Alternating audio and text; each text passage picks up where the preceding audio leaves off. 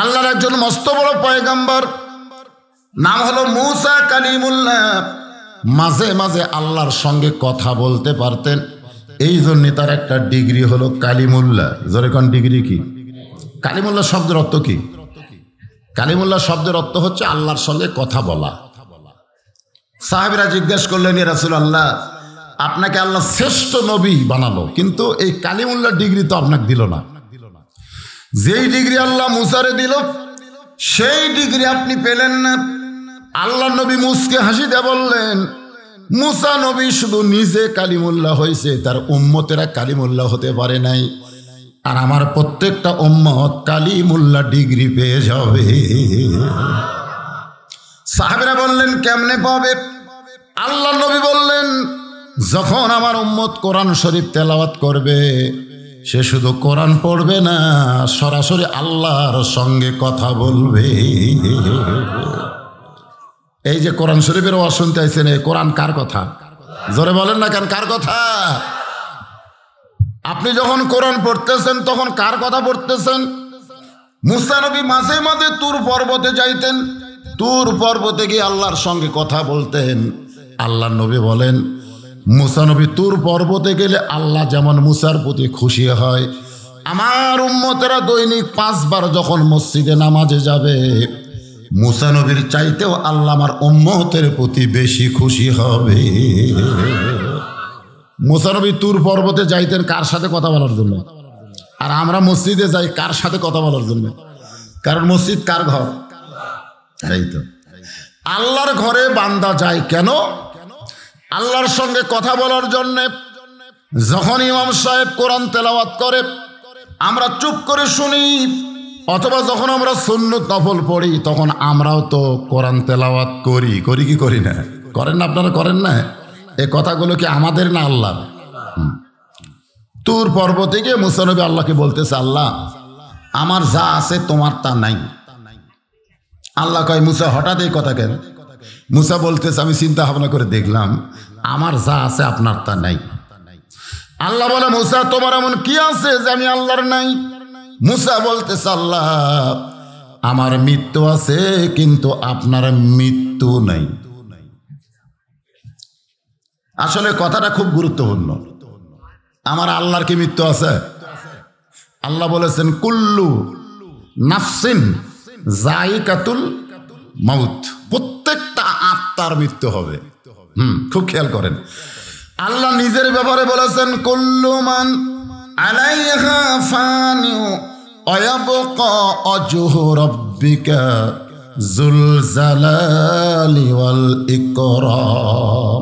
আল্লাহ নিজের ব্যাপারে বলেছে, আমি ছাড়া বাদ বাকি সবাই ফানা হয়ে যাবে, ধ্বংস হয়ে যাবে, মৃত্যুবরণ করবে। শুধু একজনই বাকি থাকবে, তিনি কে?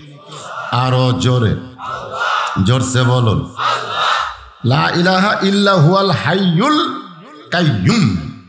মানে তিনি এমন জীবিত প্রতিষ্ঠিত যে তার কোনো মৃত্যু নাই। আর আমরা আমরা যারা বসে আছি, আমাদের মৃত্যু আছে না নাই? ধরে কোন আছে? আল্লাহ বলে, মুসা, মৃত্যু তোমার কাছে কেমন মনে হয়? দুনিয়াতে মানুষ গেলে আর মরবার চায় না। আসলে দুনিয়াতে এসেছে আমরা যাওয়ার জন্যে না থাকার জন্যে। কিন্তু একবার যদি আসেই আর যাবার চায়? চায় না।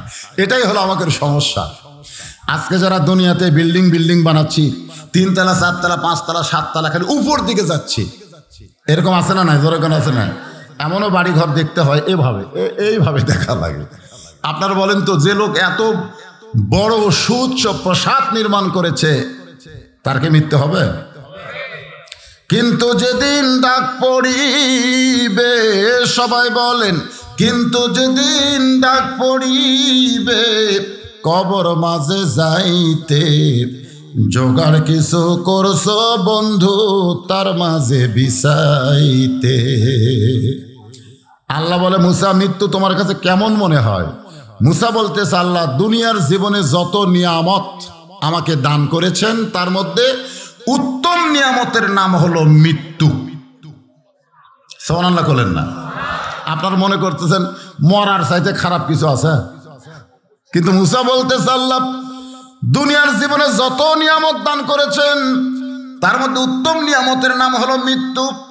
আল্লাহ বলে, মুসা, মানুষ দুনিয়াতে গেলে মরবার চায় না।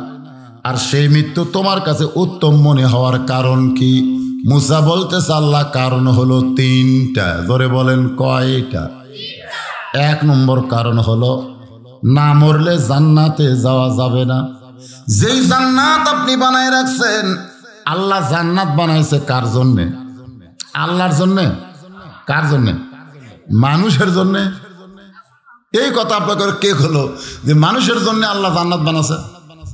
আল্লাহ জান্নাত জান্নাত বানায় ঘোষণা করলেন ফাদখুলি ফি ইবাদি অদখুলি জান্নাতি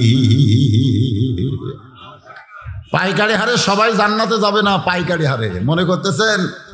পাইকারি? আপনারা কি মনে করছেন, পাইকারি না খুরসা? এ ধরে পাইকারি না খুরসা?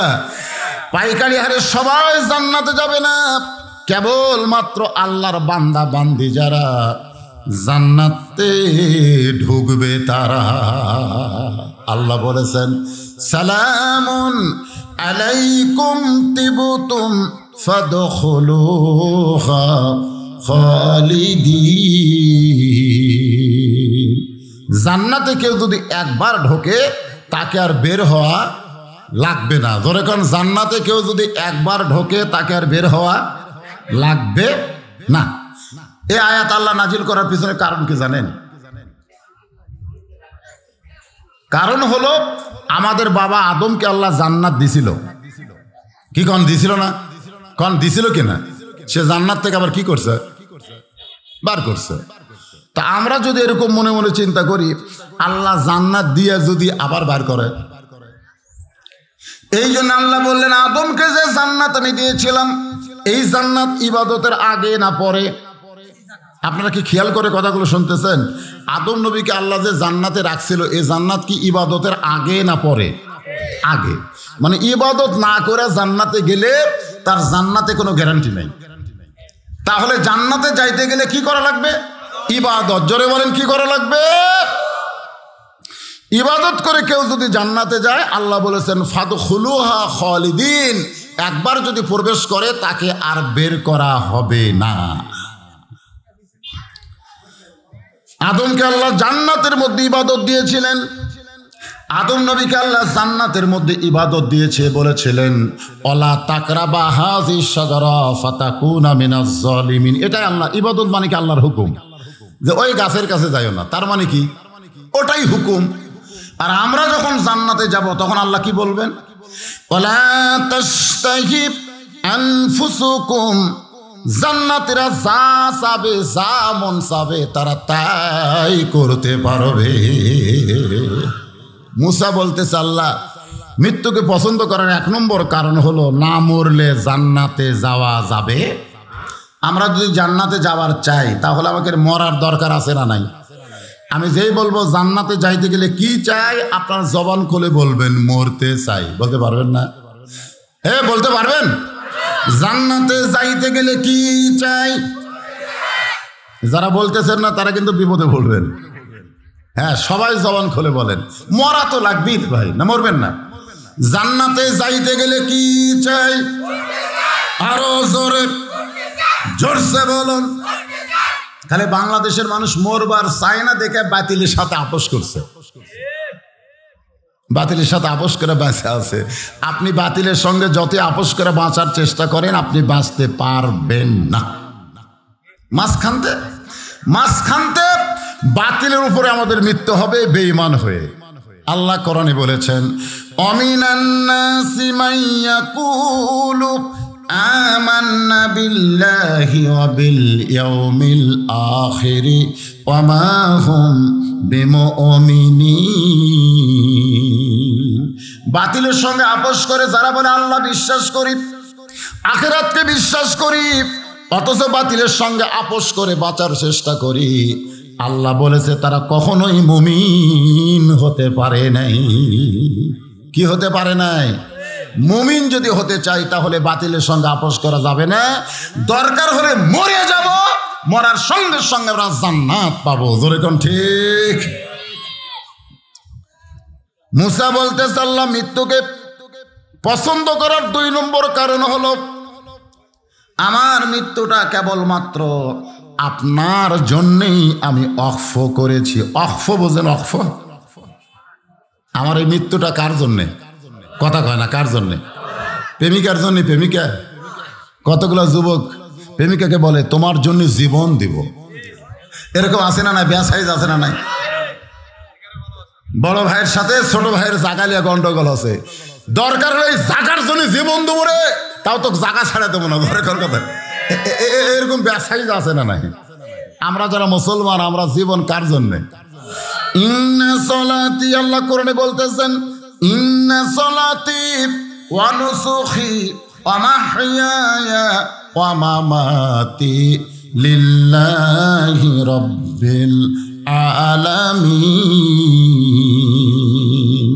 আমার নামাজ, আমার কুরবানি, আমার বেঁচে থাকা, আমার মরে যাওয়া সব কার জন্যে? কতগুলো সময় যদি জবান বন্ধ রাখেন, তখন এদের ফেরেস তারা কলম খাড়া করে থাকে। মানে কথা যে বলতেছেন না। তা আল্লাহ কয়, কে রে? কলম খাড়া কেন? বলে, আল্লাহ, বক্তা কইলো, কিন্তু এরা তো কথা কয় না। কি লিখব? আল্লাহ বলতেছে, লেখ বাম কান্দের ফেরেস্তা লেখ। বাম কান্দের ফেরেস্তা বলে, আল্লাহ, কিছুই তো কয় না, লিখব কি? আল্লাহ বলে, লেখ, ও হলো বোবা শয়তান। জোরে কন, কি শয়তান? আমরা মরবো কার জন্যে? আল্লাহ বললেন লিমান ইউকতালু ফি সাবিলিল্লাহি আমওয়াতুন, বাল আহয়াউ ওয়ালাকিন লা তাশউরুন কত বড় কথা দেখছেন? আল্লাহ বলতেছে, আমার জন্য যারা মরবে, আমি আল্লাহ বলতেছি তারা মরেনি। দেখছেন? আল্লাহ বলতেছেন, আমার জন্য যারা জীবন দিবে আমার জন্য যারা মৃত্যুবরণ করবে, তাদেরকে তোমরা মৃত্যু বলো না। আমি আল্লাহ বলতেছি, তারা চির জীবন লাভ করেছে। আমি দুইজন মানুষের নাম বলব। আপনারা দেখেন তো, এই দুইজন মানুষের মধ্যে একজন জীবিত আছে আর একজন মারা গেছে। দুইটা মানুষের নাম বলব? একটা মানুষের নাম হলো ইয়াজিদ আর একটা মানুষের নাম হলো হোসাইন। আপনার বলেন তো কুন্ডা মরিছে? আর হোসাইন? হোসাইন মরছে? মরছে? আপনি গোটা বাংলাদেশ খোঁজ করে দেখেন তো, ইয়েজিদ নামের একটা মানুষ আছে। আচ্ছা আর প্রত্যেক পাড়ায় পাড়ায় হোসাইন আছে না নাই? আপনার বলেন তো, হোসাইন কার জন্য জীবন দিয়েছে? হ্যাঁ দেখছেন? আল্লাহর জন্য যারা জীবন দেয়, আল্লাহর জন্য যাদেরকে হত্যা করা হয় তাদেরকে আল্লাহ বলেছে, তোমরা মৃত্যু বলো না। আমি আল্লাহ বলতেছি, তারা চির জীবন লাভ করেছে। কারবালার প্রান্তরে হোসান রাজি আল্লাহকে হত্যা করে, হোসান রাজি আল্লাহর মাথা যখন ইয়াজিদের দরবারে নিয়ে যায়, ইয়াজিদ তখন ক্ষমতার চেয়ারে বসাইছিল ক্ষমতা, বোঝেন না ক্ষমতা? আজকে আমাদের বাংলাদেশে ক্ষমতার চেয়ার আছে না নাই? যেরকম আছে না নাই? ক্ষমতার চেয়ারে বসে ভালো মানুষগুলোকে হত্যা করা হচ্ছে। হচ্ছে না? এরকম হচ্ছে না? কথা বলেন, হচ্ছে না? হ্যাঁ? তো ইয়াজিদ তখন ক্ষমতার চেয়ারে বসা। এমন সময় হোসান রেদালার মাথা জিয়াদ জিয়াদ নামে একটা লোক এরকম গামলাত করে নিয়ে গেছে। ইয়াজিদের সামনে হোসান রাদিয়াল্লাহর মাথা যখন হাজির করা হলো, ইয়াজিদের হাতে তখন একটা লাঠি ছিল, একটা লাঠি। ওই লাঠিটা হোসান রাদিয়াল্লাহর মুখের মধ্যে ঢুকাই দিল। মানে দেহ তো নাই, খালি মাথা। সে মাথার আবার মুখের মধ্যে কি ঢুকালো? লাঠি ঢুকায় ইয়াজিদ বলতেছে, হোসাইন, আমি তোমাকে প্রস্তাব দিলাম, তুমি ইমামতি করবে আর আমি রাষ্ট্রপতি। মানে হোসেন রাজিয়াল্লাহকে এদিত কিন্তু প্রস্তাব দিয়েছিল যে তুমি ইমামতি করো আর আমি রাষ্ট্রপতি। মানে তোমার দায়িত্ব হলো ইমামতি, আমার দায়িত্ব হলো রাষ্ট্রপতি। আমাদের বাংলাদেশে দুই গ্রুপ আছে না নাই? এক গ্রুপ খালি ইমামতি করে আর এক গ্রুপ রাষ্ট্র চলায়। তাই না? একটা হলো ইমামতি আর একটা কি? রাষ্ট্রপতি। আমরা যারা ওয়াজ করি, আমরা কি রাষ্ট্রপতি না ইমামতি? মসজিদের মধ্যে আমাদের ক্ষমতা আছে। আমরা মসজিদের মধ্যে এমপিকেও দুই এক মিনিট ওপর করে থোয়ার পারি। পারি কি পারি না? কোন পারি না? মসজিদের মধ্যে যদি মন্ত্রী ঢোকে, আমি ইচ্ছা করলে রুকুর মধ্যে মন্ত্রীকেও দুই এক মিনিট উপর করে থোয়ার পারব। যে তুই যত বড়ই মন্ত্রী হ, আমি মাথা না তোলা পর্যন্ত তুলবার পারবি না তোর এখন কথা। কারণ বাংলাদেশের সমস্ত হুজুর মসজিদ দখল করছে। মানে ভালো জায়গাগুলো আমাদের দখলে আছে, আর খারাপ জায়গাগুলো ওরা দখল করছে ধরে কোন কথা, ঠিক কিনা? কিন্তু ভালো জায়গার এরিয়া খুব ছোট বারে। তাই না? ভালো জায়গার এরিয়া কি খুব বেশি? সামান্য জায়গা। ওই জায়গার মধ্যে আমাকে খুব মশান। চলতেছে না? মশান চলতেছে না? তো ইয়াজিদ প্রস্তাব দিল হোসাইনকে যে তুমি ইমামতি করো। তুমি এমন একটা এমন একটা বংশ থেকে আল্লাহ তোমাকে প্রেরণ করছে, ইয়াজিদ বলতেছে হোসাইনকে। তোমার নানা হলো বিশ্ব নবী। তোমার বাবা হলো বিশ্ব আলেম। তোমার মা হলো খাতুনে জান্নাত। এমন একটা বংশ থেকে আল্লাহ তোমাকে দুনিয়াতে প্রেরণ করেছে। তুমি ইমামতি করবে, পীর সাহেবগিরি করবে। দুনিয়ার সমস্ত মানুষ তোমার ঘরে এসে খাবার পৌঁছায় দিবে। তোমার কোনো কষ্ট করা লাগবে না। খালি হাদিয়া খাবা আর চলবা। হাদিয়া। তোমার নানা বিশ্ব নবী তোমার বাবা বিশ্ব আলেম, তোমার মা খাতুনে জান্নাত। খালি বসে থাকবা আর খাবা। কত খাওয়া লাগে? খাতে খাতে তোমার পেট কদু হয়ে যাবি। জোরেকন কি হয়ে যাবি? কদু। এখন বাংলাদেশে কিছু হুজুর খাচ্ছে না? জোরেকন খাচ্ছে কি খাচ্ছে না? হুজুরের দিকে তাকায় দেখবেন, বুক এই জায়গার প্যাট এইভাবে চলে গেছে। যার মধ্যে একটা হুজুরের নাম আসলো দেওয়ানবাগি হুজুর। জোরেকন কি হুজুর? আচ্ছা দেওয়ানবাগিকে আপনারা দেখছেন? আয় আয়। ওটা মানুষ কেড়ে মনে হয় প্যাটের মধ্যে পাঁচ বছরের বাচ্চা আছে এখন কথা ঠিক করে এইভাবে এইভাবে চলে আপনারা বলেন তো একজন আলেমের পেট বড় হওয়া যাবে? কোন সাহাবির পেট বড় ছিল না। নবী কোন সাহাবির পেট যদি একটু বড় দেখতেন, তখনই বলতেন, তোমার পেটটা উঁচু হলো কেন? বুকের চাইতে মুমিনের পেট উপরে যাবে না। কারণ মুমিন যখন খাবার যাবে ক্ষুদাকে তিন ভাগ করা লাগবে। এক ভাগ খাদ্য খাবে, এক ভাগ পানি পান করবে আর এক ভাগ আল্লাহর জন্য ফাঁকা রাখবে। এই তরিকায় যদি কেউ খায়, তাহলে কোন দিন এই বুকের চাইতে প্যাট উপরে ওটার কোনো কায়দা কিন্তু খাবার বসে টুটি পর্যন্ত খায়। খাওয়ার পরে বলে, মিষ্টি খাওয়া শূন্য মানে আরও খাবি। এরকম কিন্তু ভেজাল আছে না জোরে কেন আছেন না? হ্যাঁ। তো এখন ইয়াজিদের গ্রুপ বলে, হোসাইনকে তুমি ইমামতি করো, পীর সাহেবগিরি করো, কারণ তোমার নানা বিশ্ব নবী, তোমার বাবা হলো বিশ্ব আলেম, তোমার মা হলো খাতুনে জান্নাত। সঙ্গে সঙ্গে হোসেন বললেন রে ইয়াজিদের লোকেরা শোনো, আমার নানা শুধু বিশ্ব নবী নয়, আমার নানা হলো বিশ্ব নেতা। তোমরা আমার নানাকে বিশ্ব নবী খাও ইয়াজিদ কিন্তু আমাদের নবীকে বিশ্ব নবী কইছে, কিন্তু বিশ্ব নেতা মানেনি। আজও বাংলাদেশে এজিদ গ্রুপ আছে, তারা কিন্তু আমাদের নবীকে বিশ্ব নবী খয় কিন্তু বিশ্ব নেতা মানে না, ওরা সাধারণ এক মানুষকে নেতা মানে তার পিছনে চ্যামচাগিরি করে। জোরে কোন কথা ঠিক না? আমাদের নবী কি শুধু নবী না বিশ্ব নেতা? হ্যাঁ। এই জন্য একটা স্লোগান দেওয়া লাগবে, আমার নবী, তোমার নবী, বিশ্ব নবী মোস্তফা। বলতে পারবেন না? আমার নেতা, তোমার নেতা। ঘুম ধরতেছে নাকি? শরীর খারাপ হলে ওপরে যান। জনগণ সায়া থাকে তো। আমার নেতা, তোমার নেতা। আল্লাহ কোরআনে বললেন, লাকাদ কানা লাকুম ফি রাসূলিল্লাহি উসওয়াতুন হাসানা। সফলতা যদি অর্জন করতে চাও, তাহলে দুনিয়ার পাঁচশার নেতা বাদ দিয়া রাসুলকে তোমাদের আদর্শের নেতা হিসাবে গ্রহণ করে না। হোসেন বললে, শোনো আমার বাবা শুধু বিশ্ব আলেম না। আমার বাবা হলো বিশ্ববীর তোমরা ইয়াজিদের লোকেরা বলো, আমার বাবা বিশ্ব আলেম। আমার বাবা শুধু বিশ্ব আলেম নয়, আমার বাবা হলো বিশ্ব কি? বীর জোরেগণ বিশ্ব কি? তার মানে কি বুঝলেন? প্রত্যেকটা বড় বড় আলেমকে বড় বড় বীর হওয়া লাগবে। আজকে আমাদের বাংলাদেশের বড় বড় আলেমরা বীর। ক্ষীর ক্ষীর বোঝেন না ক্ষীর। সকালবেলা হুজুর সকালবেলা হুজুর, বুঝলেন? ফজর নামাজ আদায় করে আল্লাহর কোরআন শরীফ পড়তেছে, আল্লাহর কোরআন শরীফ পড়তেছে।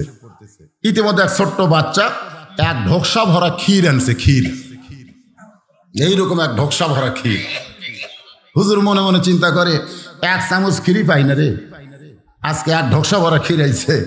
ক্ষীরের ঢোকসা দেখি দোয়া শুরু করছে, আল্লাহ আল্লাহ, এক চামচ ক্ষীর কেউ দেয় না, আল্লাহ। আজকে এক ঢোকসা ভরা ক্ষীর সকালবেলা ছোট বাচ্চার হাতে যে মা পাঠাই দিছে, এ মাকে তুমি জান্নাত দিয়ে দাও। কি দিয়ে দাও? জান্নাত দিয়ে দাও। এরকম ক্ষীর মার্কা হুজুর আছে না নাই? কিছু দেখলে দোয়া করে, এখন এটা কিসের ক্ষীর? ওদিকে খেয়াল নেই। ছোট্ট বাচ্চা বলতেছে, আমার মায়ের জন্য দোয়া করবেন না। আমার মায়ের জন্য দোয়া করবেন না। হুজুর বলে, কেন? বলে, আপনি তো ক্ষীরের খবর জানেন না। এই ক্ষীর আগে গামলা ছিল ক্ষীর আগে কোথায় ছিল? ঢোকসাত না রে, এই ক্ষীর আগে গামলাই ছিল একটা কুত্তা এসে ক্ষীরে মুখ দিছে। তখন মা কইল ঢকসাত করে হুজুরত দিয়াই যা। কারণ হুজুররা হালাল করে খাবার পারে ধরে আগে ক্ষীর কোথায় আছিল? কথা হয় না, ক্ষীর কোথায় ছিল এক কুত্তা এসে এই ক্ষীরত মুখ দিছে। তখন মা কইল, ওই ঢোকসাত করে হুজুরক দিয়াই যা। হুজুররা হালাল করে খাবার পারে। আজকে বাংলাদেশে বহু হুজুর নামে শয়তান আছে, তারা হারামকে হালাল করতেছে। কথা কন না কেন? হুজুররা হালাল করে খাবার পারে আপনার বলেন তো, হুজুর যে দোয়া করছে? যে আল্লাহর মা তুমি জান্নাত দিয়ে দাও, এ দোয়া ফেরত লওয়া যাবি? তা আগে না জানাই দোয়া, সুদের টাকা না ঘুষের টাকা, এগুলো আগে জানার দরকার আছে না কথা কোন, আছে না একটা লোক একশো টাকা দান করেছে, সারাদিন জমিতে কাজ করছে। খেতে খামারে কাজ করছে, অটো ভ্যান চালাইছে। ও রক্ত খামানো হালাল, একশো টাকা দান করছে। হুজুরের দিকে তাকাই না। এক ঘুষারও দশ হাজার টাকা দিয়েছে, ওরে বাবা রে, ওর চোদ্দ গোষ্ঠী জান্নাত থুয়ে আসতেছে। আছে না নাই যেরকম আছে না? খুব খেয়াল করো। তো এখন হুজুর তো দোয়া করেই সারছে, কি করবে? দৌড়া যায়, ঢকসা ধরে মারছে আসা ছোট্ট বাচ্চা হাউমাউ করে কান্দে।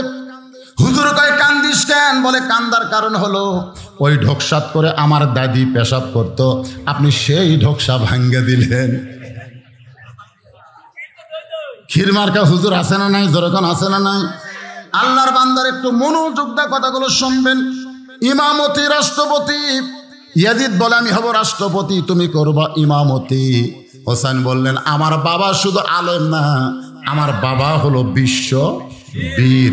তার মানে বোঝা গেল, যত বড় আলেম হবে, তার মধ্যে তত বীরত্ব থাকা লাগবে। আহম্মদ শফিক বাংলাদেশের একজন বড় আলেম, কিন্তু হেফাজত ইসলাম নামে একটা দল করে বাতিলের বিরুদ্ধে লড়াই করেছে। জোরে কোন কথা ঠিক কি না? আল্লামা সাইদে হুজুর পঞ্চাশ বছর কোরআনের তাফসির করেছে, যেমন বড় আলেম, তেমন বীরত্ব দেখে এখন জেলখানার মধ্যে আছে। জোরে কোন কথা ঠিক কি না? আমির হামজা কোরআনের আয়াত নম্বর, সুরা নম্বর সুন্দর হক তাফসির করেছে। বীরত্ব দেখায় আজকে বর্তমানে জেলখানায় বন্দি আছে, ধরে কোন কথা ঠিক কিনা? মামুনুল হক বড় আলেম, আবার বীরত্ব দেখানোর কারণে বাতিলের সঙ্গে আপোষ না করার কারণে জেলখানার মধ্যে বন্দি আছে। তার মানে বোঝা গেল যত বড় আলেম হবে, তাকে তত বড় বীর হওয়া লাগবে। তা আমার বাবা খালি বিশ্ব আলেম না, আমার আলী বাবা কি রে? বিশ্ব? আমার মা শুধু খাতুনে জান্নাত নয়, হোসাইন বলতেছে এজিদের লোকদেরকে। আমার মা শুধু খাতুনে জান্নাত নয়, আমার মা হলো ফাতেমা তো জোহরা। ফাতেমা তো জোহরা, আপনারা জান্নাত খাতুনে জান্নাত মানে জান্নাতের সর্দার। এমনি এমনি এমনি এমনি অনেক মেয়েরা কয়, নবীর মেয়ে তো নবীর মেয়ে হওয়ার কারণে খাতুনে যান না। নবীর মেয়ে হওয়ার কারণে নবী কিন্তু প্রতিদিন ফাতেমার সঙ্গে যখনই দেখা হইতো, তখনই বলতো, ফাতেমা, তুমি নবীর মেয়ে হয়েছে বলে তুমি জান্নাতে যাবা? এ কথা কখনো কল্পনা করবা না। জান্নাতে যদি যাওয়ার চাও, তাহলে জান্নাতের আমল করে তোমাকে জান্নাতে যেতে হবে। ফাতেমা বাবার সামনে দাঁড়িয়ে বলে, বাবা, মেয়েদের জন্য জান্নাতের আমল কি গো বাবা? বাবা, আপনি বলেন তো, মেয়েদের জন্য জান্নাতের আমল কি? যে আমল করলে মেয়েরা জান্নাতে যাবে? আল্লাহ নবী বললেন, ফাতেমা, মাত্র চারটা আমল করা লাগবে। মাত্র চারটা আমল যদি করতে পারো মা, আল্লাহ আটটা জান্নাতের দরজা খুলে দিবে। ফাতেমা বললেন, বাবা, তাহলে চারটি আমলের নাম বলেন। আল্লাহ নবী বললেন, এক নম্বর হলো নামাজ, দুই নম্বর রমজান মাসে রোজা, তিন নম্বর সতীত্বের হেফাজত, পর্দা করা, আর চার নম্বর হলো স্বামীর কথা মতো চলা। এই চারটি আমল যদি করতে পারো ফাতেমা, আমি রাসুল বলতেছি, আল্লাহ তোমার জন্য আটটা জান্নাতের দরজা খুলে দিবে। ফাতেমা বললেন, বাবা, এই চারটি আমলের মধ্যে সবচাইতে গুরুত্বপূর্ণ আমল কোনটা? আমার মায়েরা যারা পর্দার অন্তরণ একটু মনোযোগ দিয়ে শুনবেন, ফাতেমা বললেন, বাবা, এই চারটি আমলের মধ্যে সবচাইতে গুরুত্বপূর্ণ আমল কোনটা? আল্লাহ রাসুল বললেন, এক নম্বর নামাজ, চব্বিশ ঘন্টায় পড়া লাগবে না। চব্বিশ ঘণ্টার মধ্যে পাঁচবার নামাজ পড়লে নামাজের হক আদায় হবে। ও ফাতেমা, রমজান মাসের রোজা সারা বছর করা লাগবে না। বারো মাসের মধ্যে একটা মাস রোজা করলে রোজার হক আদায় হবে। স্বামীর খেদমত সব সময় করা লাগবে না। স্বামী যখন খেদমত চাবে, তখন খেদমত করবা। কিন্তু সতীত্বের হেফাজত পর্দা ফাতেমা, এটা চব্বিশ ঘন্টায় পর্দার ভিতরে থাকতে হবে। আল্লাহ রাসুল বললেন, মেয়েদের চারটি আমলের মধ্যে সবচাইতে গুরুত্বপূর্ণ আমল হলো পর্দা। জরেকর নাম কি? সঙ্গে সঙ্গে ফাতেমা অন্যটা যে অন্যটা ছিল অন্যটা দিয়ে মাথা ঢেকে বলল, বাবা, আজ থেকে, এই মুহূর্তে থেকে আমি ফাতেমা পর্দার ভিতরে চলে গেলাম। হ্যাঁ। আব্দুল কাদের জিলানি রহমতুল্লাহ জান্নাতুল বাকি জিয়ারত করতেছেন, জান্নাতুল বাকি। জান্নাতুল বাকি ছিলেন, যারা হজ করছে তারা দেখছে। আল্লাহ রাসুলের রওজার পাশে সবচাইতে বড় গোরস্থান জান্নাতুল বাকি। যে গোরস্থানের মধ্যে দশ হাজার, কয় হাজার? দশ হাজার সাহাবিকে ইয়াজিদ হত্যা করছে, ইয়াজিদ। ইয়াজিদ কিন্তু কয়েকটা অকাম করছে, তার মধ্যে এক নম্বর হলো হোসেন রাদেল্লাকে হত্যা করছে, দুই নম্বর হলো ওই মদিনায় যত সাহাবি ছিল, সমস্ত সাহাবিকে ইয়াজিদ হত্যা করছে। তিন নম্বর অপরাধ হলো আল্লাহর কাবা ঘরে কামান মারছে। যখন কি মারছে? তারপরেও কতগুলো শয়তান ইয়াজিদের পক্ষে হ্যাঁ। কোন কাফের বেইমানি হুদির দ্বারা ইসলামের যে ক্ষতি হয় নাই, সেই ক্ষতি ইয়াজিদ করেছে। দশ হাজার সাহাবি, কত হাজার? জান্নাতুল বাকির মধ্যে তাদের কবর আছে। ওই জান্নাতুল বাকি আব্দুল কাদের জিলানি রহমতুল্লাহ যখন জিয়ারত করে পিছন দিক থেকে একজন মুরিদ বলে হুজুর আপনি চোখ বন্ধ করলে গোটা পৃথিবীর খবর বলতে পারেন। আপনি চোখ বন্ধ করে দেখেন তো এই জান্নাতুল বাকির কোন জায়গায় মা ফাতেমার কবর? কি করা লাগবে? আসলে দুটো দেওয়া লাগে একটা দেওয়া হয়। এই ভদ্র সবসময় মুখ আমি সোজা করে থুই তাহলে সাউন্ড ঠিক হবে। তো সবসময় এরকম মুখ সোজা করে রাখা যাবে?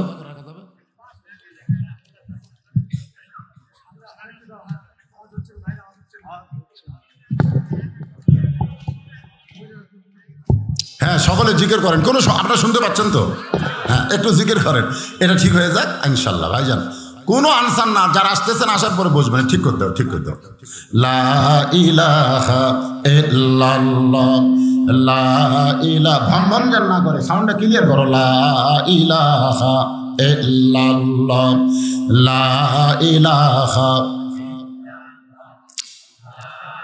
আপনারা এর সাইডে জোরে পারেন না। আমাদের কাহালুতে এই মাইকের সাউন্ড ভম ভম করে কেন? তোমার কি বলতেছি? আমাদের কাহালু নাম শুনছেন? কাহালুতে দুই দল মানুষ আসতে কথা কয় দুই দল। এক দল হলো যারা মেয়ে মানুষ তারা জোরে কথা কয় না। কারণ জোরে কথা বললে পর্দার খেলাফ হয়। আর এক দল যারা চোর চোর বোঝেন না এরা জোরে কথা কয় না কারণ জোরে কথা বললে ধরা পড়ার ভয় আছে। তা আপনারা কি মেয়ে মানুষ? আপনারা কি চোর? তার ম্যান করেন জিকের হবে মরদ মানুষের মতন ধরে খান কথা ঠিক কিনা? লা ইলাহা ইল্লাল্লাহ, লা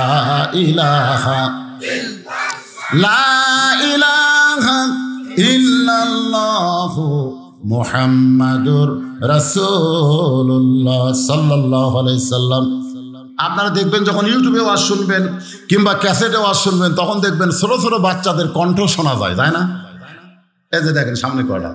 আপনারা বলেন তো, বড় মানুষের কণ্ঠ না শোনে ছোট মানুষের কণ্ঠ কেন শোনা যায়?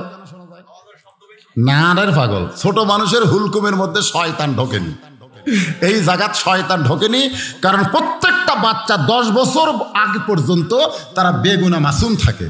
তাদের কোনো গুণা লেখা হয় না। কয় বছর? দশ বছর পর্যন্ত তারকে খালি ডানকানদের ফেরেস্তা থাকে। যা করবে খালি সব লিখবে, পাপ নাই। এই জন্য এরকে গলার সাউন্ড ভালো। কুল্লু মাউলুদুন ইউলিদু আলাল ফেতরা। জোরে কান সোহান আল্লাহ আল্লাহর বান্দারা মনে আছে কি বলতেছিলাম আব্দুল কাদের জিলানিকে বলতেছে, হুজুর, চোখ বন্ধ করলে গোটা পৃথিবীর খবর বলতে পারেন। চোখ বন্ধ করে দেখেন তো জান্নাতুল বাকির কোন জায়গায় মা ফাতেমার কবর। আব্দুল কাদের জিলানি ছোট বাচ্চার মতন কান্না শুরু করে দিলেন। সমস্ত মরিদ বলে, হুজুর, কান্দেন কেন? আব্দুল কাদের জিলানি বললেন, মা ফাতেমার কবর জান্নাতুল বাকির মধ্যে আছে। কিন্তু কোন জায়গায় ফাতেমার কবর? এটা দুনিয়ার কেউ বলতে পারবে না। কারণ মা ফাতেমার কবর পর্যন্ত আল্লাহ পর্দা করেছে। নিজের জীবনটাকে পর্দার মধ্যে রাখলেন। পর্দার মধ্যেই মৃত্যুবরণ করলেন। হজরত আলী কবর দেওয়ার পরে যখন আল্লাহকে বলতেছে আল্লাহ আমি ফাতেমার প্রতি খুশি হয়েছি। আপনি খুশি হন কারণ স্বামী খুশি না হলে আল্লাহ খুশি হবে। হ্যাঁ, মায়েরা মনে করতেছে নামাজ দিয়া রোজা দিয়া নফল ইবাদত দিয়া জান্নাত যাবে। একটা ইবাদত কবুল হবে না। স্বামী যদি বইয়ের প্রতি রাজি না থাকে। কথা কন না কেন? আপনাদের পক্ষে ওয়াজ হচ্ছে না। কথা কন না কেন? কথা কন না বিয়া করেনি, তাও কি করে ঠিক করছে, দেখছেন? একটু মনোযোগ দেন।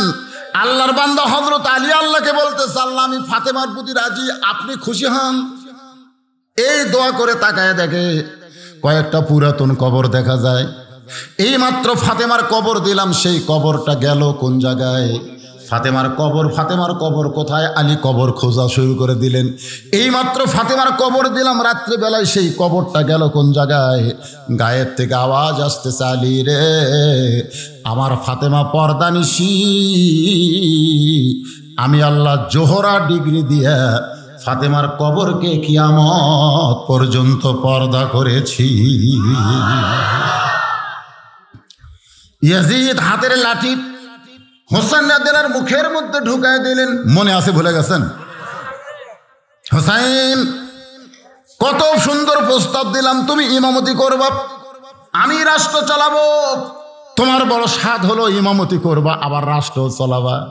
দেখো, তোমার আজকে কি অবস্থা? তুমি হোসাইন শেষ হয়ে গেছো। তুমি হোসাইনের আর কোনো অস্তিত্ব নাই। তুমি হোসাইন শেষ।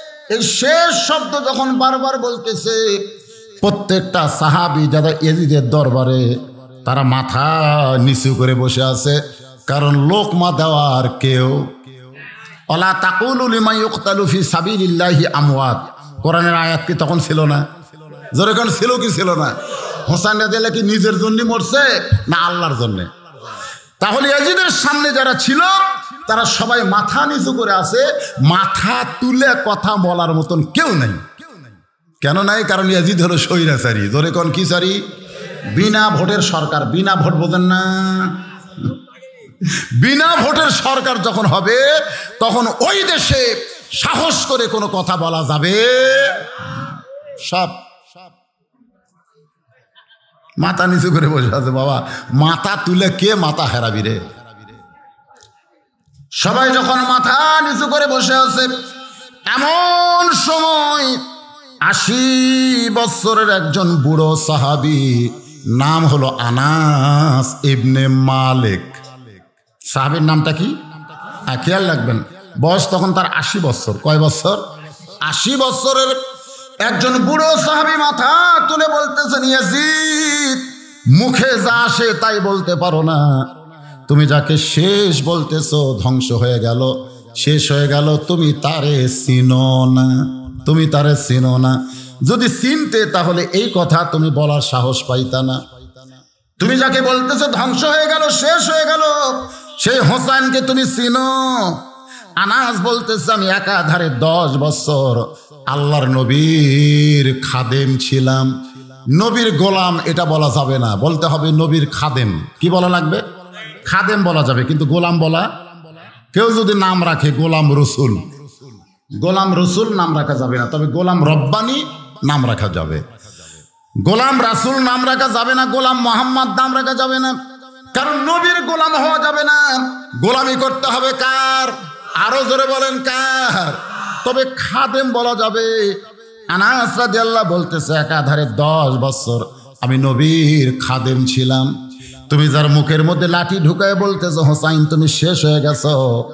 ওই হোসাইন তখন ছোট্ট ছিল। আমি নবীর ঘরের মধ্যে দাঁড়িয়েছিলাম। আল্লাহ নবী তখন নামাজের শেষ দেয় কোত্থেকে ওই ছোট্ট হোসাইন দৌড়ে এসে আল্লাহ নবীর পিঠের ওপরে চড়ে বলতে, চল ঘোড়া, চল চল ঘোড়া, চল। আমি আনার চমকে গেলাম। কারণ নবী আছে নামাজের শেষ দায় নবী কোথায়?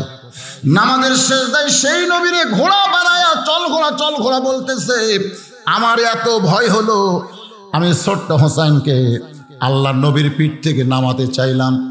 নবীর পিঠ থেকে যখন নামাবার গেছি, এমন সময় নবী শেষদারত অবস্থায় আমাকে হাত দিয়ে নিষেধ করলেন। আমি হোসাইনকে পিঠ থেকে নামাতে পারলাম না। কিছুক্ষণ পরে হোসাইন বলতেছে, যে ঘোড়া চলে না, সেই ঘোড়ার পিঠে চড়ে আমার লাভটা কি? এ বলে রাগ করে যখন ঘর থেকে বের হয়ে যায়, আল্লাহ নবী তখন শেষদা থেকে মাথা তুলে নামাজের সালাম ফিরারে বললাম ইয়ারসুল আল্লাহ আমি হোসাইনকে আপনার পিঠ থেকে না আবার চাইলাম। কিন্তু আপনি শেষদারত অবস্থায় নিষেধ করলেন। ও গো নবী, আপনার সঙ্গে বেয়াদবি করল। আপনি নিজেও নামালেন না, আমাকেও নাম নামাতে দিলেন না। আল্লাহ রাসুল মুসকে হাসিয়ে বললেন, আনাস, এই হোসাইন যখন আমাকে চল ঘোড়া চল ঘোড়া বলেছে, আমি তখন পিঠ থেকে না আবার চাইছিলাম। কিন্তু নামাজের মালিক আল্লাহ ডাকতে বলে, হাবিব, আমার চিন্তা করে আপনি হোসাইনকে পিঠ থেকে নামাবেন না। আপনি যেমন হোসাইনকে ভালোবাসেন, আমি আল্লাহ তেমন ভালোবাসি। যতক্ষণ আপনাকে ঘোড়া বানাবে ততক্ষণ আপনি শেষ দা থেকে মাথা তুলতে পারবেন না। আল্লাহ নবী বলে আনাস রে, আমার হোসেন সাধারণ কোনো ছেলে নয়, সাধারণ কোনো সন্তান নয়। আমার আল্লাহ তালা হোসাইনকে বড় ভালোবাসে। তুমি সেই হোসেনের মুখের মধ্যে লাঠি ঢুকাইয়া তুমি বলতেছো হোসেন, শেষ হয়ে গেল। তুমি হোসাইন চিনো না বলে এমন কথা বলতেছো। আমি আনাস বলতেছি হোসাইন শেষ হবে না। বরং তুমি শেষ হয়ে যাবে। এই ঘটনার মাত্র কয়েক বছর ইয়াজিদ ক্ষমতার সিয়ারে ছিল, তারপরে শেষ। আপনারা কি মনে করতেছেন, ক্ষমতার সিয়ারে যারা ছিল তারা কি আছে? ফেরাউন আছে। কত বড় ক্ষমতাবান? কত বড় ক্ষমতাবান! আল্লাহ তাকে সাগরে ডুবে মারছে, জোরে কোন কথা ঠিক কিনা? নমরুদ আছে? ন্যাংলা মশা দিয়ে আল্লাহ সাইজ করছে। ক্ষমতার অহংকার করো না। ক্ষমতার মালিক হচ্ছে আল্লাহ। তাবারকাল্লাযী বিয়াদিহিল মুলক আলা কুল্লি শাইইন কদির। গোটা পৃথিবীর রাজত্ব, কর্তৃত্ব, মালিকানা কার হাতে? জবান খুলে বলতে হবে, সমস্ত ক্ষমতার মালিককে। মুসা বলতে আল্লাহ, মৃত্যুকে পছন্দ করার দুই নম্বর কারণ হলো, আমার মৃত্যুটা কেবলমাত্র আপনার জন্য অক্ষ করেছি। আল্লাহর কুদরতি মুখে হাসি ফুটে গেছে। কুদরতি মুখে হাসি ফুটছে। তো হাসি তো আর দেখা যায় না। মুসা নবী কি আল্লাহরে দেখছে নাকি? দেখছে? কথা বলেছে, কিন্তু দেখে নাই। অবশ্য কথা বলতে বলতে একসময় একটু সাহস হয়েছিল। সাহস হয়ে বলতেছে আল্লাহ, রব্বি আরিনি।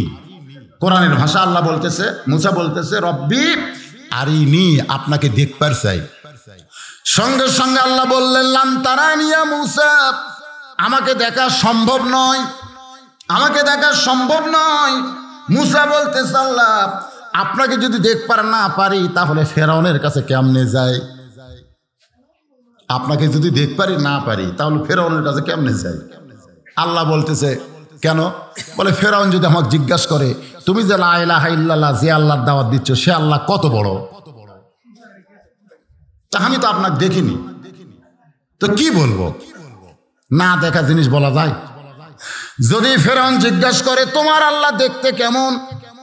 তোমার আল্লাহর চেহারা কেমন? আমি তো তোমারে দেখি নাই। তাহলে কেমনে বলব? যদি ফেরাউন জিজ্ঞাসা করে, তোমার আল্লাহ কোন দিক হয়ে বসে থাকে? আমি তোমারে দেখি নাই, তাহলে বলব কেমনে? আল্লাহ কয় মুসারে তুই তো আচ্ছা পেঁয়াজ দিলি। মুসা বলতেছে, আল্লাহ, এ কানা হয়ে দাওয়াত দেওয়া, কানা। কানা বোঝেন না, কানা হয়ে দাওয়াত দেওয়া যাবে? আল্লাহ বললেন, ঠিক আছে, দেখবার যদি চাও, তাহলে অমুক দিনে তুর পর্বতের কিনারায়, মুসা নবী আল্লাহকে দেখার জন্য তুর পর্বতের কিনারায়, আপনারা বলেন তো দেখবার পারছে?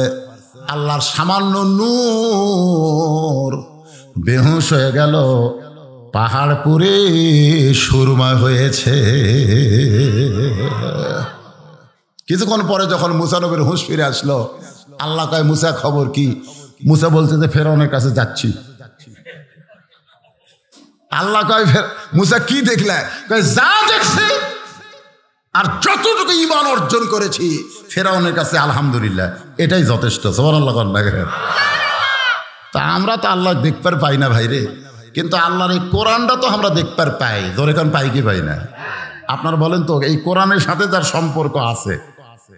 কোরআনের সাথে যার সম্পর্ক আছে, সে আল্লাহর দাওয়াত দিতে কোনো সময় ভয় করবে? হ্যাঁ কতক্ষণ ভয় করবে? কিন্তু কোরআনের সঙ্গে যদি সম্পর্ক না থাকে, আল্লাহর পথে তার টিকা বড় কঠিন হয়ে যাবে। একটু মনোযোগ দিয়ে শুনবেন। আল্লাহ বলে, মুসা, মৃত্যুকে পছন্দ করার তিন নম্বর কারণ কি? মুসার মৃত্যুকে পছন্দ করার তিন নম্বর কারণ বলার আগে আমি একটা গান আপনাদের শোনাবো। কি শোনাবো? গান গান। এই তিরিশ পারা কোরআন গোটাটাই হলো আমার আল্লাহর গুণ গান খালি গান করলে ভুল হবে। কোরআন গান কোরআন গান, তাহলে হবে না। গুণ গান জোরে কন, কি গান? চলতে পথে দুই দিন থামিলাম। শুরু হয়ে গেছে কিন্তু। খালি আপনারা খেয়াল করবেন। চলতে পথে দুই দিন থামিলাম। যাবার কালে একজন আরও দেখা না পাইলাম। ও আমার সাদের মালা যায় রে ছিঁড়ে। রইব না আর বেশি দিন তোদের মাজারে কতজনকে কত কি দিলাম? বাংলাদেশের একজন প্রেসিডেন্ট জিল্লুর রহমান। নাম শুনছেন? তিনটা প্রেসিডেন্ট ক্ষমতায় থাকা অবস্থায় মারা গেছে, তিনটা। তিনটা প্রেসিডেন্ট কি থাকা অবস্থায় মারা গেছে? ক্ষমতায়। এই তিনটাই আবার রহমান। একটা হলো বঙ্গবন্ধু শেখ মুজিবুর, কথা কয় না। একটা হলো জিয়াউর, আর একটা হলো জিল্লুর। তো ওই বঙ্গবন্ধু শেখ মুজিবুর রহমান আর জিয়াউর রহমান, ওনারা মারা গেলে আমরা খুব একটা দেখবার পাইনি, কারণ তখন মিডিয়া এত সক্রিয় ছিল না। ছিল? কিন্তু জিল্লুর রহমান তো যে হর আমলে মারা গেল। মারা যাওয়ার পরে বাংলাদেশের যত চ্যানেল আছিল, প্রত্যেকটা চ্যানেল কিন্তু প্রচার করছে। চ্যানেল আই প্রচার করছে, জিল্লুর রহমানকে যখন কবরে নিয়ে গেল, কবরের কাছে নিয়ে গেল, জানাজার আগ দিয়ে। একজন ঘোষক ঘোষণা করতেছে।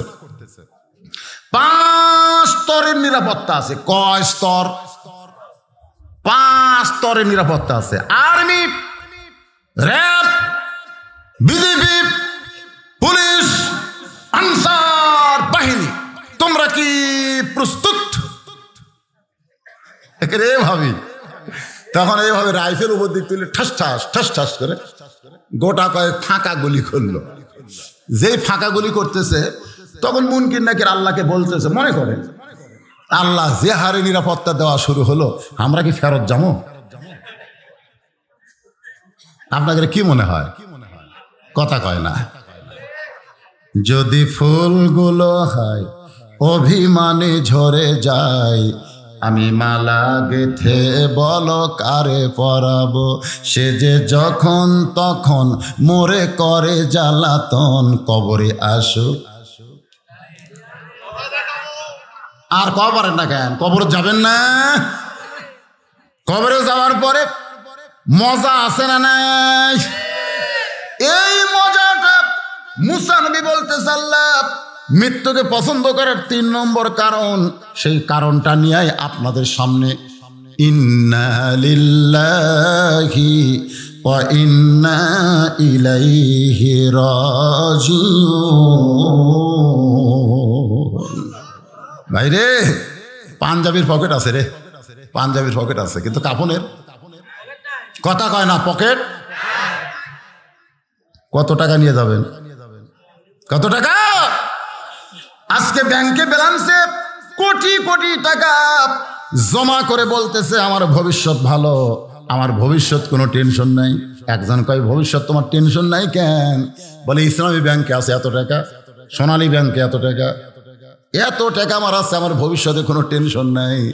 আল্লাহ বলে, দুনিয়ার ব্যাংকে যারা যত টাকা জমাইছো, তাদের ভবিষ্যতে টেনশন আছে। খালি মরিয়া দেখো, ওই টাকা ভাগ করালিয়া গন্ডগোল হবে, তোমার লাশটা পর্যন্ত দাফন করবে না। কয়েকদিন আগে বাপ মরছে। আল্লাহর কি কাম? এটা আমার ফেসবুকে ভাইরাল হয়ে গেছে। বাপ মরছে, বেটারা এই সম্পদ দিয়া গন্ডগোল। চব্বিশ ঘণ্টা পর্যন্ত ওর বাপ ওই মশারির তলে আছে, ও গোসলও করে দেয়নি, কিছুই করেনি। ওই ফুলে উঠছে ধরে কন কি উঠছে? ফুলে, না আগে লয় লাশ পড়ছে, ফুলে উঠছে। লাশ যখন ফুলে উঠছে, আশেপাশের লোকজন চিন্তা করে, কে কে বাপ মরলো, বাড়িতে খেলে চিল্লা চিল্লা হয়, কান্দা কাটি শব্দ নাই। আসিয়া দেখে যে দুই ভাই এই টাকা নিয়ে ব্যাংকের যে টাকা আছে, ওই টাকা নিয়ে গ্যাঞ্জাম করতেছে, ওর বাপের দিকে খেয়ালি নেই। পরে প্রতিবেশীর লোকেরা টাকা, চাঁদা তুলে কবর খুঁড়ে জানাজা করার মাটি দিচ্ছে বেটাকে গন্ডগোল মিটেনি। আপনার ভবিষ্যৎ ভালো? ভবিষ্যৎ ভালো? আপনার ভবিষ্যৎ ভালো হবে? যেই কোরআনের মাদ্রাসায় আপনার অসন্তাইছেন এই কোরআনের তালিমে যদি একটা বাচ্চা আপনি তৈরি করতে পারেন, আপনার একটা সন্তান যদি কোরআনের তালিম নেয়, কোরআনের আলেম হয় যে কোরআনের প্রথম শব্দ হলো, এ কোরআ মানে পড়ো। খলাক। যে আল্লাহ তোমাকে সৃষ্টি করেছেন, সে আল্লাহর নামে পড়ো। আর পড়ার আগে তোমরা স্পর্শ করতে পারবে না। ইল্লাল মোতাহারুন যতক্ষণ পর্যন্ত তোমরা পবিত্র না হবে। চিন্তা করে দেখেন দুনিয়ার কত শিক্ষা আছে। সেই শিক্ষা নাফাক অবস্থাও ধরা যায়। কিন্তু আল্লাহর করুন এমন একটা শিক্ষা যেটা স্পর্শ করবার গেলে নিজের শরীর পবিত্র করতে হয়। কাফনের কিন্তু পকেট নাই। আমরা সবাই মরে যাব। প্রাইমারির জন্য সরকার হাজার হাজার কোটি টাকা বাজেট করে। হাই স্কুল, কলেজের জন্য সরকারের টাকার কোনো অভাব নাই। কিন্তু এই সকল এতিম মাদ্রাসার জন্যে আমাদের নব্বই ভাগ মুসলমানের দেশে সরকার একটা টাকাও দেয় না, জোরে কোন কথা ঠিক কিনা? এই মাদ্রাসাগুলো ঠিক আছে। আপনাদের মতন আল্লাহওয়ালাদের দানের মাধ্যমে আমি রদাক না হুম ইনফিকুন মোত্তাকির একটা বৈশিষ্ট্য হলো আল্লাহ দেওয়ার রেজেক থেকে আল্লাহ রাস্তায় খরচ করা ভাইজান, আমি আপনাদের অত্যন্ত মহব্বতের মানুষ আজকে কোরআনের মাদ্রাসার জন্য একশোটা কোরআন শরীফ আপনাদের কাছে বিক্রি করব। মাত্র একশোটা কোরআন শরীফ বিক্রি করব। একটা করে কোরআন মাত্র পাঁচশো টাকা করে দাম আপনি যদি মনে চান দশটা কোরআন কিনে পাঁচ হাজার টাকা দান করবেন যদি না পারেন, একটা কোরআন শরীফ বাবদ পাঁচশো টাকা দিবেন। আল্লাহ আপনার বাপমার কবরকে জান্নাত বানায় দিবে। যদি বাপমা জীবিত থাকে, আল্লাহ যেন হায়াত দারাজ করে দেয়। কোন আল্লাহর পাগল আছেন? এ নবীর এতিম মাদ্রাসায় একটা কোরআন শরীফ দান করবেন। কোরআন দান হলো সবচাইতে বড় দান, যার উপরে কোনো দান নাই। আপনি একটা কোরআন শরীফ বাবদ মাত্র পাঁচশো টাকা দেবেন। আমি দোয়া করে দেব, এই নবীর মাদ্রাসা একটা কোরআন দানের সোয়াব আল্লাহ আপনার আমলে দিয়ে দিবে। দেরি করেন না, পাঁচশো টাকা নিয়ে আসেন। যে যত আগে দেবেন, আল্লাহ তার জন্য তত জান্নাতের দরজা খুলে দিবে, ভাইজান। বলার সঙ্গে সঙ্গে আল্লাহ তোমার একজন পাগল তোমার একজন পাগল, তোমার নবীর এতিম মাদ্রাসায় একটা কোরআন শরীফ বাবদ পাঁচশো করে টাকা দান করেছে। আল্লাহ, এই যে কোরআন বাবদ পাঁচশো টাকা দান করল, একটা কোরআন দানের সব তোমার বাপ মা মারা গেছে বাবা? বাপ মারা গেছে। আল্লাহ, বাবার কবরকে যেন জান্নাত বানায় দেয়, জোরে আমিন। বাবার কথা মনে করে দেন, ভাইজান, দেন, টাকা যারা আছে, দেন না কেন? দেন পাঁচশো টাকা। সবচাইতে বড় দান রে একটা কোরআন শরীফ। এতগুলো মানুষের মধ্যে একশোটা কোরআন শরীফ চাইছি। কেউ যদি মনে করে, হুজুর, আমি এক লাখ দশটা দেবো। মাশাল্লাহ এই মাদ্রাসার হুজুর একটা কোরআন শরীফ বাবদ পাঁচশো টাকা দান করেছে। আল্লাহ দানকে কবুল করেন। কে দিল এটা? একজন মুরব্বী দুইটা কোরআন শরীফ বাবদ এক হাজার টাকা দান করল। আল্লাহ তার দানকে কবুল করেন। যে নিয়তে দান করছে, নেক নিয়ত নিকাশে অত্যন্ত ভালো সময়। আল্লাহর কাছে অত্যন্ত গুরুত্বপূর্ণ সময় সোহান আল্লাহ বলেন। আল্লাহ পবিত্র কালামুল্লাহ শরীফের সৎ করেন।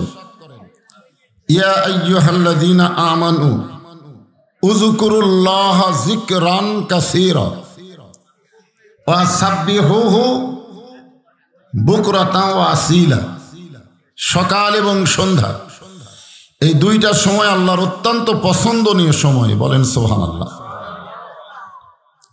আপনারা যে মুহূর্তে মাহফিল উপস্থিত হয়েছেন, এই সময়টা আল্লাহর অত্যন্ত পছন্দনীয় সময়। এই সন্ধ্যার সময় আল্লাহ তালা জেনাদেরকে আজকের এই জান্নাতের বাগানি কবুল করেছেন। আমার সামনে জেনারা বসে আছেন।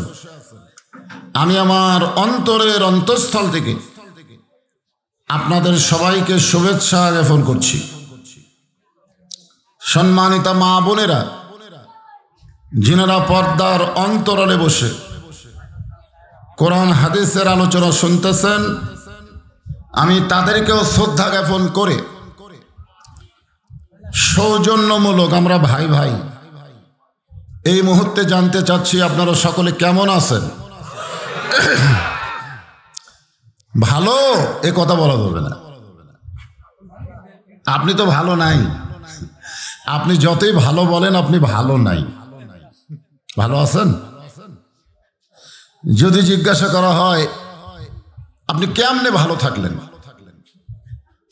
কারণ ভালো থাকার যে পরিবেশ, ভালো থাকার যে সমাজ, ভালো থাকার যে রাষ্ট্র, সেইটা বর্তমানে আমরা মুসলমান এখনও পাইনি। পাইছি? কথা বলেন না কেন? আমরা শুধু কোরআনের ওয়াজ শুনি। এই কোরআন অনুযায়ী কি আমল করার পরিবেশ আমরা পেয়েছি? পাইছি। চুরি করলে চোরের হাত কাটা যাবে? জিনা করলে মানুষকে সঙ্গে সার করে শেষ করা যাবে? যাবে? ঘুষ খাইলে সাথে সাথে কোরআনের অ্যাকশন করা যাবে? তাহলে ভালো। এ কথা কেমনি কইলেন? তবে একটা শব্দ আমরা উচ্চারণ করব, সেটা হলো আলহামদুলিল্লাহ।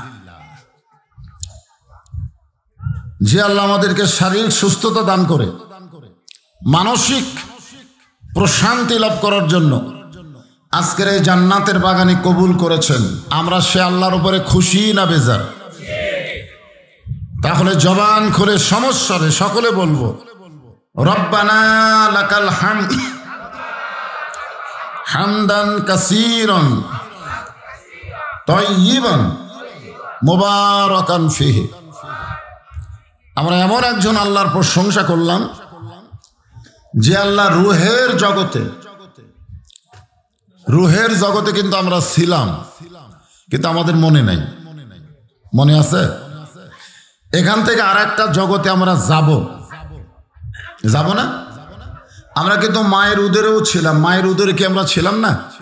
আমাদেরকে মনে আছে? তবে ছিলাম তো। এটা বিশ্বাস হয়? মায়ের উদরে যেমন ছিলাম বিশ্বাস হয়, রুহের জগতেও আমরা ছিলাম, এটাও বিশ্বাস করা লাগবে। বিশ্বাস আপনাদের হয়? এই রুহের জগতে আল্লাহ তালা আমাদের রুহুকে, আমাদের আমাদের রুহুকে এত ভালোবেসেছেন, এত মহব্বত করেছেন, এত পছন্দ করেছেন, যার কারণে দুনিয়াতে জন্মগতভাবে আমাদেরকে আল্লাহ মুসলমানের ঘরে কবুল করেছেন। আপনাদের কি মনে হয়? আল্লাহ যদি ভালো না বাসতেন, আমাদের হিন্দুর ঘরে পাঠাবার পারতেন। পারতেন না? আল্লাহ যদি আমাদের ভালো না বাসতেন, ইহুদি খ্রিস্টানদের ঘরেও আমাদের পাঠাবার পারতেন। হয়তো বলবেন, হুজুর, হিন্দুর ঘরে আমরা জন্ম নিলে আমাদের লস কি? লস হলো, আমরা যেটা পাইতাম, তার নাম হলো ভগবান। জোরে কোন কি পাইতাম? আমরা কি আল্লাহ পেতাম? কোন হিন্দুরা কি আল্লাহ কয়? ওরা কি কয়? ভগবান। ভগবানের ভ যদি বাদ দেন, মনে করেন ভগবানের ভ বাদ দিলেন, তাহলে কি থাকল? গবান। গবানের কোনো অর্থ ডিকশনারিত নেই। গবানের গ যদি বাদ দেন, বান মানে বন্যা। বিলের লোকেরা কি বান বন্যা চায়? চায় না। বা যদি বাদ দেন নো মানে নাই, ভগবানই নাই। আর আমরা যাকে আল্লাহ বলি, আল্লাহ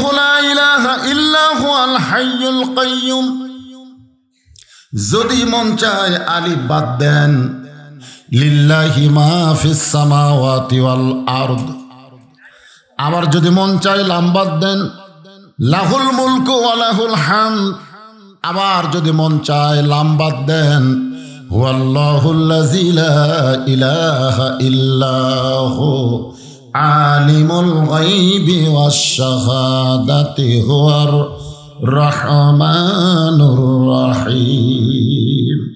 আমাদের আল্লাহর সব কিছু বাদ দিলেও আল্লাহ বাদ পড়ে না। মুসলমান যাকে আল্লাহ বলে তিনি সদা বিরাজমান। জোরে বলেন ঠিক কিনা?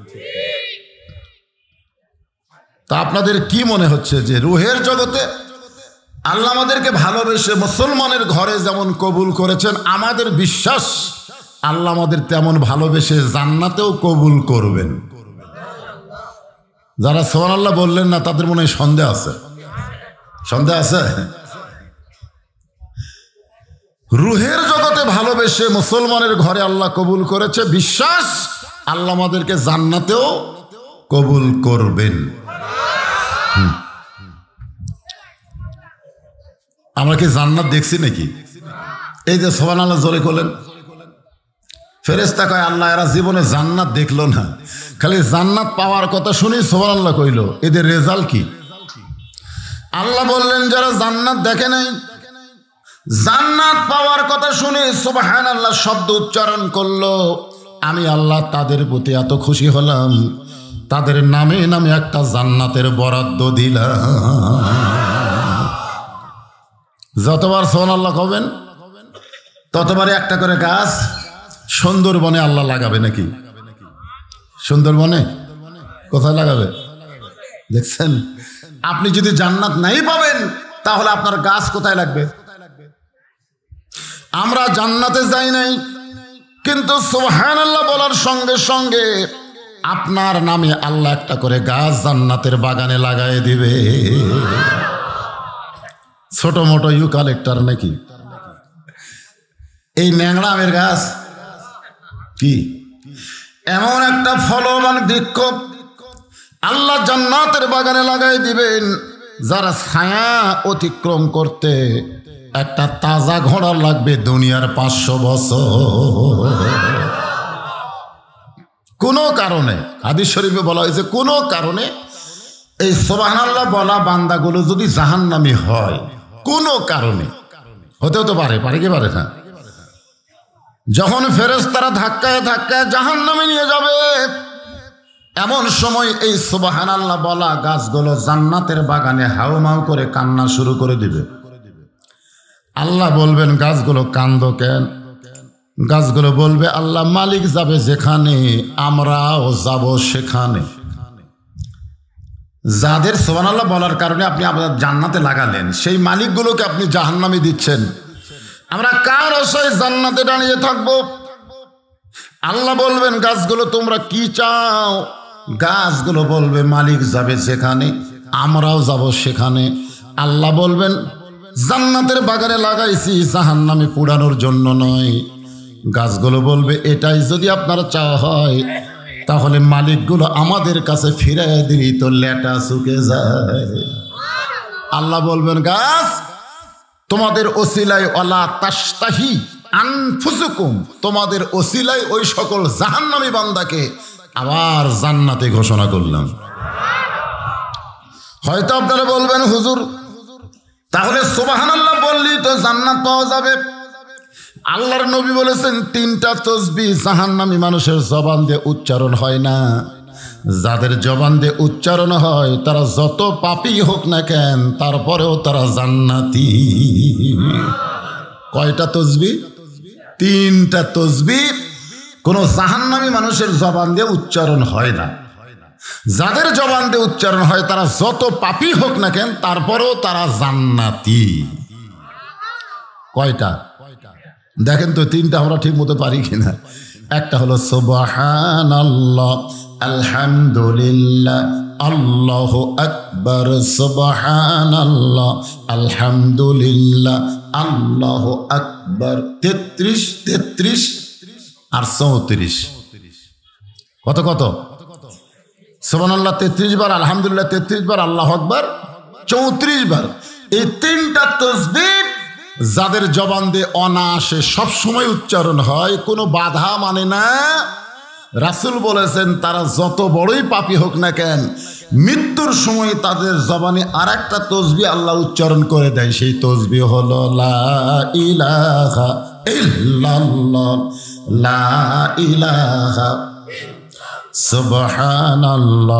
আলহামদুলিল্লাহ, আল্লাহ আকবর ইলাহা আল্লাহর নবী বলেন, কোন মানুষ মৃত্যুর সময় লা ইলাহা ইল্লাল্লাহ উচ্চারণ করতে করতে যদি মারা যায়, সে যত বড় পাপী হোক না কেন, আল্লাহ তার ঠিকানা জান্নাত বানায়া দেয়। হ্যাঁ এজন্য এই তসবিগুলো আমরা আদায় করতে কোনো অলসতা করব? হ্যাঁ জবান দিয়েছেন কে? জোরে বলেন কে? সোহান আল্লাহ যখন বললেন, তখন কার পবিত্রতা ঘোষণা করলেন? যখন আল্লাহ, আলহামদুলিল্লাহ বললেন, তখন কার প্রশংসা করলেন? যখন আল্লাহ একবার বললেন, তখন কার বরত্ব প্রচার করলেন? তাহলে আল্লাহর পবিত্রতা, আল্লাহর প্রশংসা, আল্লাহর বড়ত্ব প্রচার করতে আমাদের কোনো আপত্তি নাই। আল্লাহর প্রশংসা এই কারণে বেশি বেশি করব যা আল্লাহ আমাদেরকে বিশ্ব নবী কন কোন নবী? হাসরের ময়দানের সমস্ত নবীরা ইয়া নফসি বলে যখন কান্না শুরু করে দিবে, সমস্ত নবীরা যখন বলবে, আমার কি হবে? আমার কি হবে? ওই সময় আমাদের নবী, আমার কি হবে? আমার কি হবে? এই শব্দ উচ্চারণ না করে বলবে, ইয়া রব্বি হাবলি উম্মাতি, আমার উম্মতের কি হবে? নিদানে আখেরাতে তরাইতে পুলসিরাতে কান্ডারি হইয়া নবী পার করিবেন সেই তরণী। সবাই বলেন, নবী মোর পরশমণি, নবী মোর সোনার খনি। নবী নাম ভাবে যেজন সেই তদ জাহানের ধনী। আপনার যদি লোকজন এসে ওইখানে ওখানে দাঁড়িয়ে যান, তাহলে দেখতে কেমন লাগে? এই যদি আপনারা আসার পরে এরকম দাঁড়িয়ে থাকেন, বসার তো জায়গা আছে। এই সাইডে ক্যামেরা দেওয়ার কারণে এই সাইডে লোক কিছু বসতেছে না, যে বসলে তো বক্তা দেখা যাবে না। আপনারা একটু জমে জমে বসেন। ভাইজান, জায়গাটা কি খুব বড় না ছোট? কথা কয় না, বড় না ছোট? কেবল তো লোক আসা শুরু হলো। শুরু হলো না? তো লোক যখন সমানে আসতে থাকবে, তা ওনার বসতে দেবেন কোথায়? তো এই জন্য এখন থেকেই একটু চেপে বসেন, একটু চেপে বসেন। আমি পৌষ এবং মাঘ মাস হলে বলতাম খুবই চাপেন, খুব চাপেন। মানে এক ভাই, এক ভাইয়ের শরীরে উষুমলেন কিন্তু এই চৈত্র মাসে তো বেশি চাপতে বলা যায় না। তো যদ্দূর পর্যন্ত চাপা যায় আর কি। আপনার তদ্দূর পর্যন্ত সামনের দিকে চেপে চেপে বসেন আর জিকির করেন। জিকির করেন আর সামনে চাপেন, লা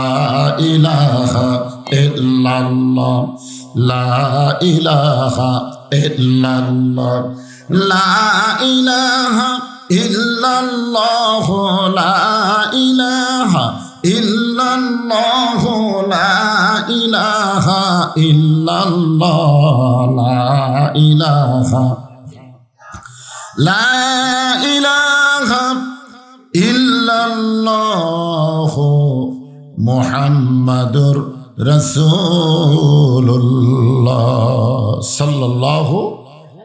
ওয়াসাল্লাম।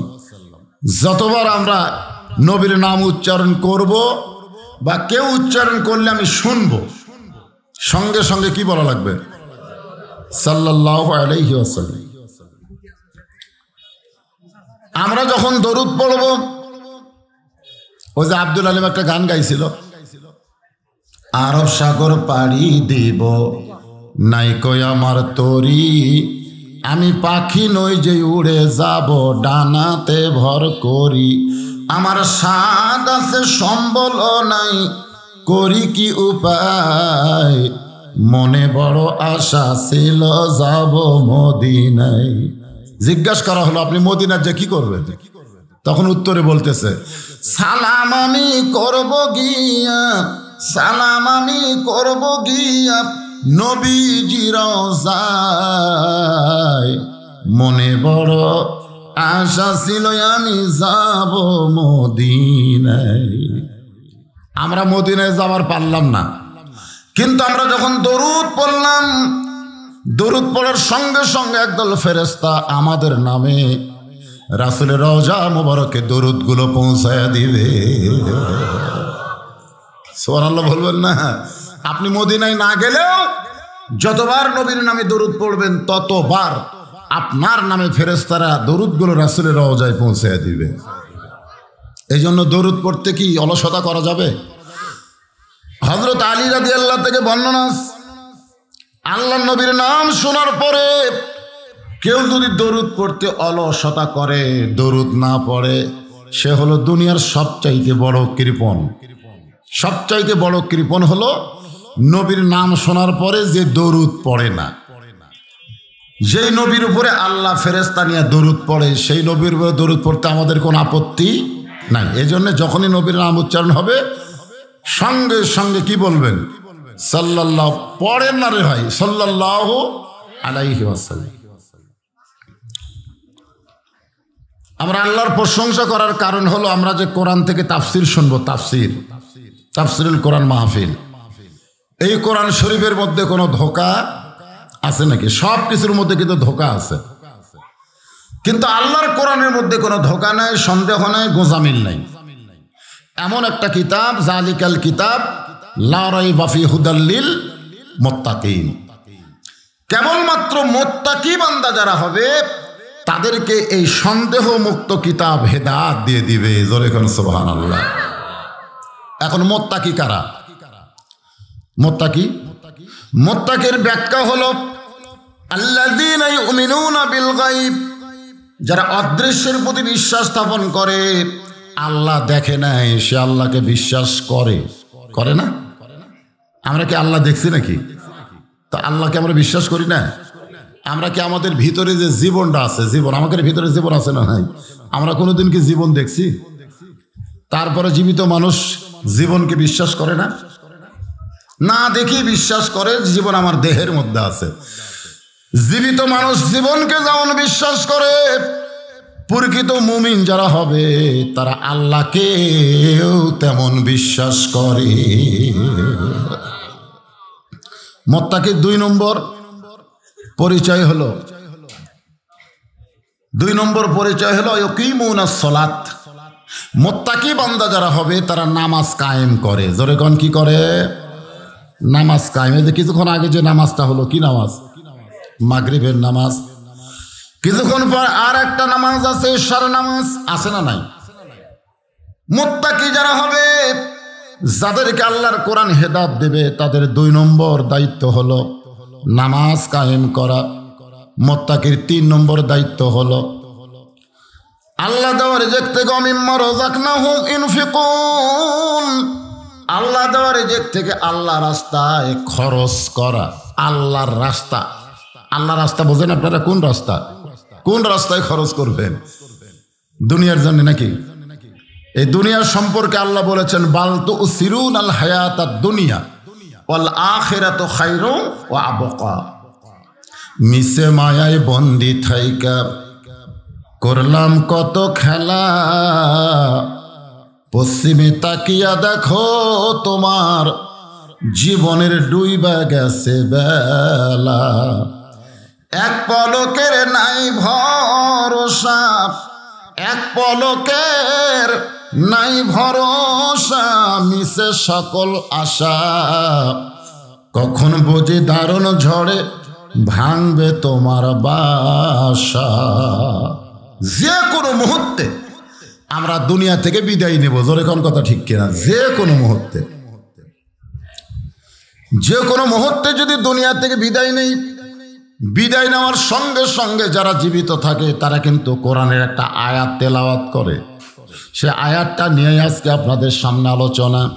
ইজাব আসাবাতুহুম মুসিবাতুন, কলু, সকলে পড়েন। ইলাইহি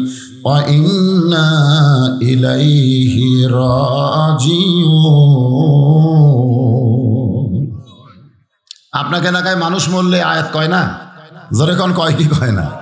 আয়াতের বাংলা অর্থ কি? কোন বনেরই পাখি তুমি? আইলারে কোন বনে আবার কোন বনেতে যাইতে হবে, পড়ছে নাকি মনে? আমরা খালি বর্তমান নিয়ে কিন্তু চিন্তা করতেছি, বর্তমান। বর্তমানে গাড়ি, বাড়ি, সহায় সম্পত্তি, আমার ট্যাটাস আমি কি হনুরি?